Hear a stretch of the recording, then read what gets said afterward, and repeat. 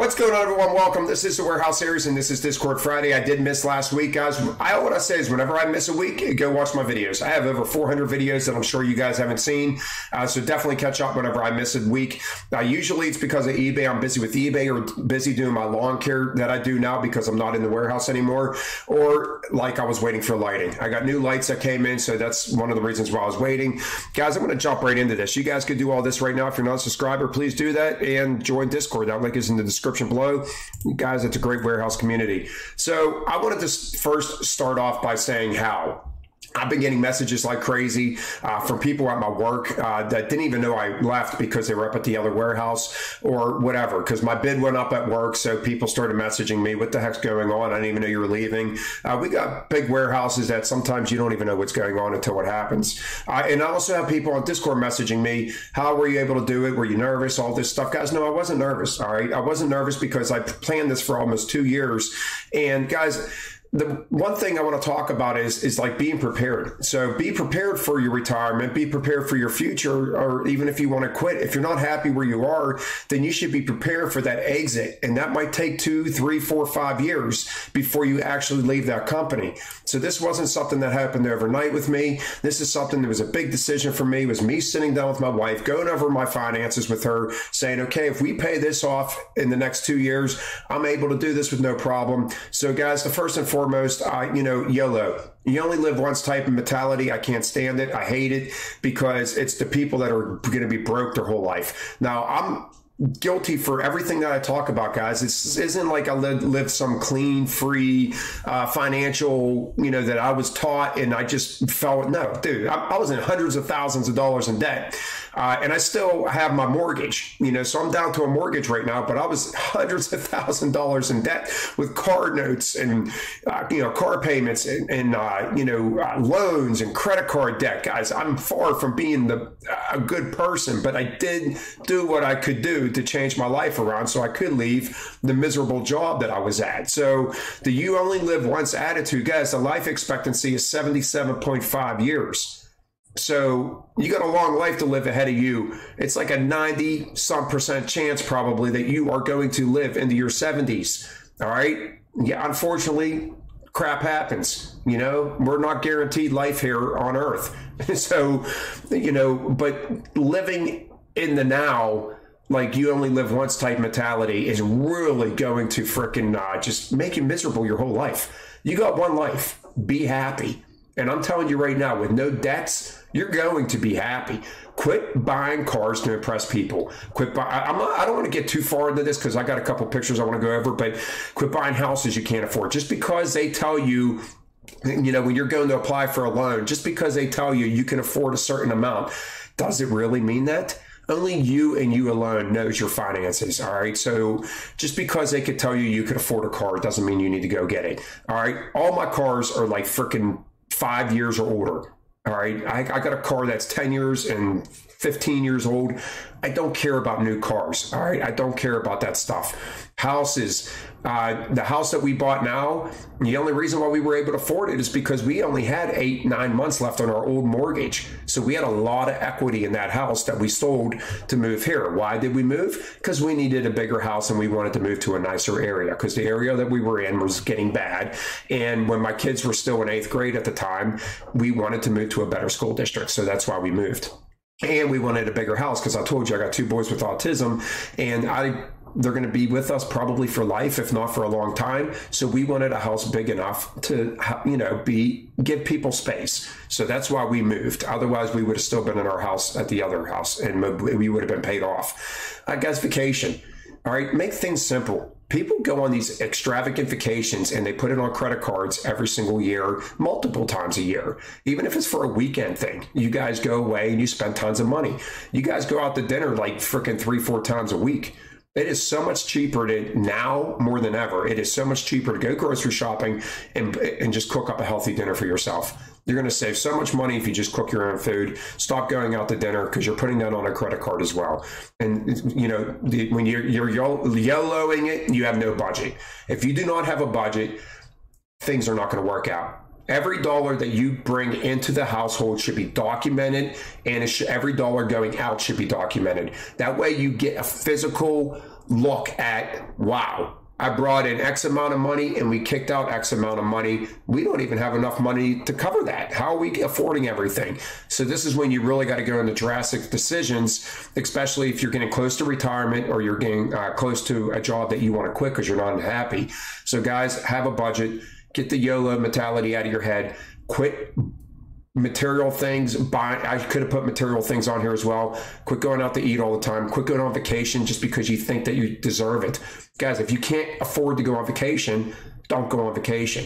If you can't afford to buy a big house don't buy that house. Guys do your research before you buy anything. Same with the cars. You guys lease cars? I don't agree with it. I hate leasing. I did it before. I got videos talking about why I think leasing is bad. It's a non-stop car payment and everybody's excuse is oh well you know what about the the uh, maintenance cost? Guys my maintenance costs on my vehicles that are all paid off all my cars are paid off i have four of them all right? I got a 2020 21 rogue i don't even know what it is.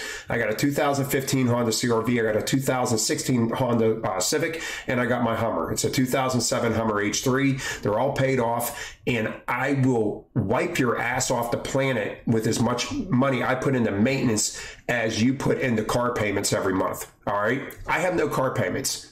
I have maintenance costs that I take care of those, and they will wipe you off the planet with as much money as you're putting in the car payments on your two cars, one car for the year. I guarantee it. My maintenance costs aren't even close to what you're paying in insurance and everything that you're doing. And and half the time you go to get something fixed on your uh, lease, and it's not even covered under warranty. Brakes, rotors, all that stuff, tires. That's it, the regular maintenance costs are still there for you guys. It's just if a fluke happens that you're covered because you have that thing. So I'm not going over that anymore.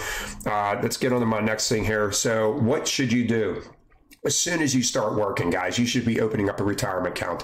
As soon as you're available to open up this, and I say do up to the company match. Anything over the company match, you should be putting into a Roth IRA, in my opinion, guys. All my opinion. Pay that debt down. You should be down to a mortgage payment before you leave your job, and you should always have health care. All right. So that's the one thing that I lost a lot of was good health care. We went to lower health care, but I told you in my other video, be happy with uh, with less health care or be miserable with good health care.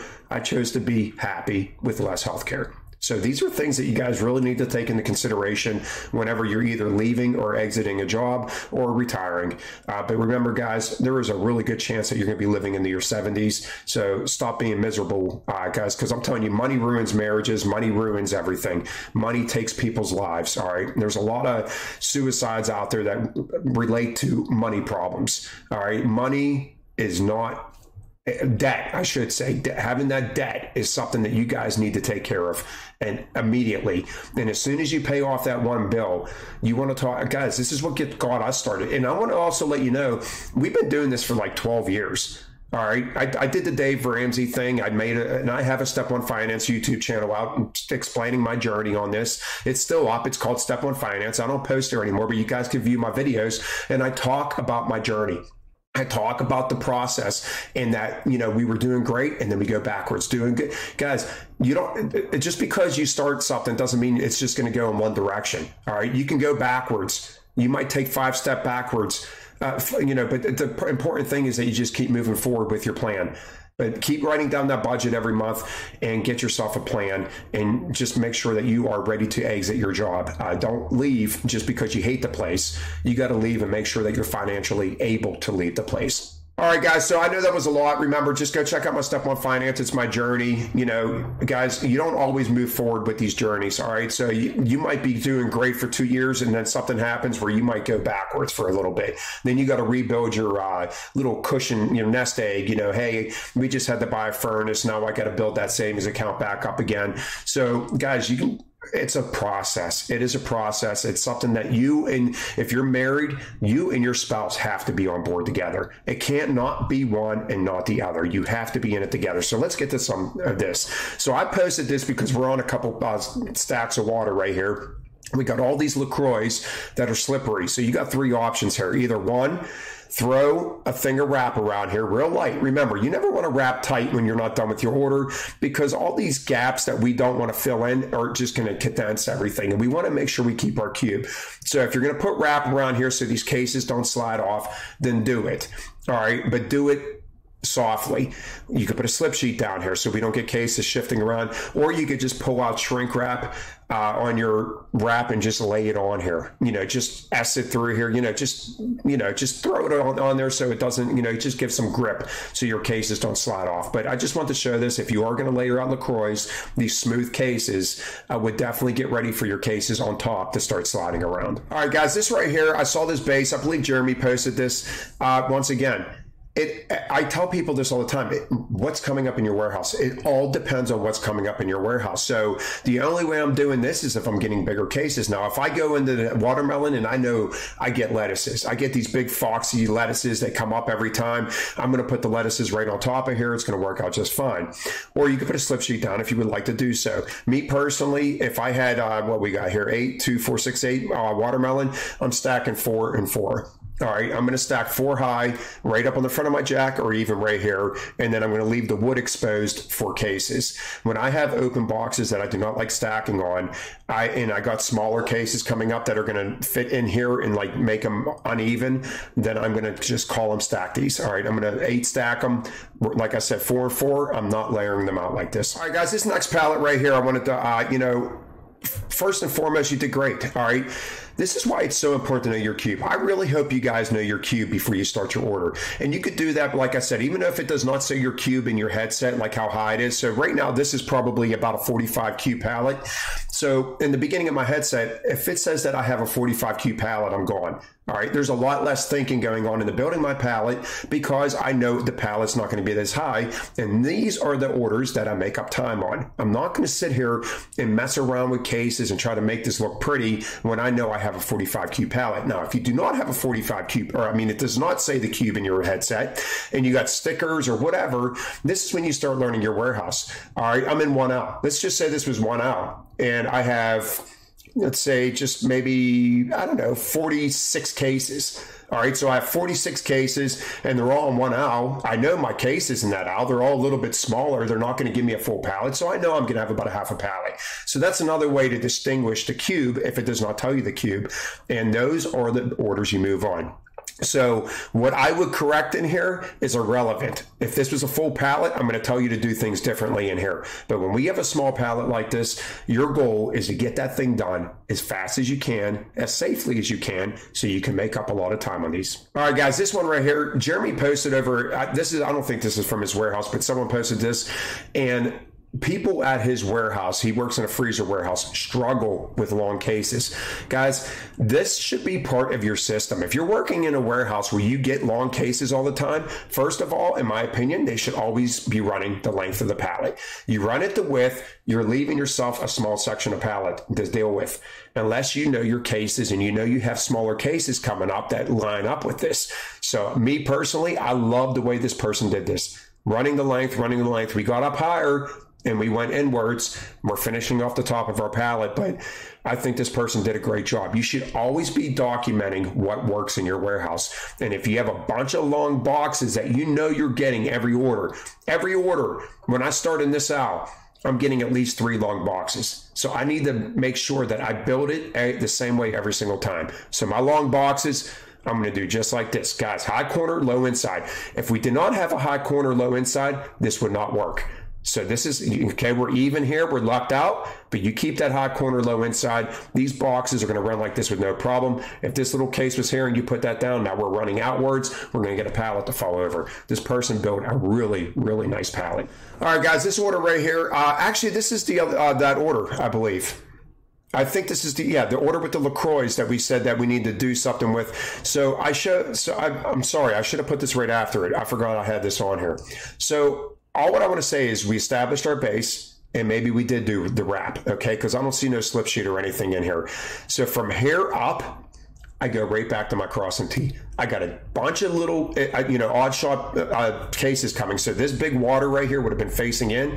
This right here would have been facing in, and I would have my skinny middle. See how we, we're going out? We're getting wide because we lost our. That's why I truly believe in that cross and T method, especially in dry goods. We establish a base. We're getting a mixture of cases. That is exactly when the cross and T method come in. So if we would have crossed and T from the base up, this would have went a lot smoother. I promise you, if you're new and you don't know what my cross and T videos are, go watch part two, three, and four. If you go on Discord, they're over there on my top videos. All right. In the tab over on the side, you're going to see Tim's tops videos or whatever.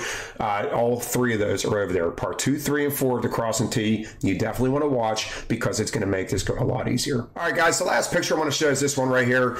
And, you know, I used to see all the time with Samuel and these guys and even Cole Wolf, like you could just post your picture with no name and I'm going to know exactly who it is. And that's where I'm at right now with this. Although I cannot pronounce your screen name, uh, you just you post a lot of your work and you do a great job. And all your palettes are starting to look like the same. So as soon as you post this picture i know exactly who it is. Uh, you're doing a great job and you've come a long way. But guys i just want to go over this real quick. Big cases on the on the corners all right? We got a small case in the middle we got that's fine. You know, these are nice solid flour sugars. You know, we could keep in. Uh, I don't. I don't like this. I just wish we would have kept pointing stuff in. But this person established her system. Remember, guys, just because I disagree with something doesn't mean it's the right way. It's just the way I know how to do things. I love that we kept our crush boxes on the inside, guys. If you have crush boxes that you're selecting, you do not want them out here. You want them in the middle. Build a nice solid corner of sugar, and we just did a great job. You know, we threw a slip sheet in here, nice square pallets. We're using blue CHEP, guys. I promise you, they're the best things that you could possibly use. If you could use blue CHEP over plastic, I use them every single day of the week. Uh, but we're doing such a great job. Really pay attention to this. I mean, this is just perfectly done. You're doing great, and I'm telling you, and and the person that does this comment when you first started, it wasn't this easy, right? But you kept doing the same thing and you kept establishing that system. I guarantee this person's making these pallets look that nice while making incentive money. They are crushing this. I guarantee it because they're doing the same thing every time. They're building really well. I guarantee cases are not being moved a lot on here because they have a system. All right, guys, that's it for today. Please, if you have any questions or comments, leave it in the comment section below. Guys, subscribe to the channel. If you want to help the uh, channel by donating, it's really much appreciated. Join Discord, give me a thumbs up. And, guys, my eBay store, go check it out. Something different shop. I'll see you guys next time. Have a great day.